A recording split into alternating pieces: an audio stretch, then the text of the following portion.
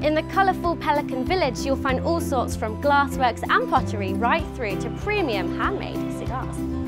At Caribbean Cigar Company Inc., you'll see cigars being rolled in a binder with a blend of tobacco from Cuba, Cameroon and Ecuador before it's cut and compressed for a day. Next, the wrapping is made using a finisher made of water and gum which holds the cigars together. 200 Royal Barbados cigars get the seal of approval here every single day.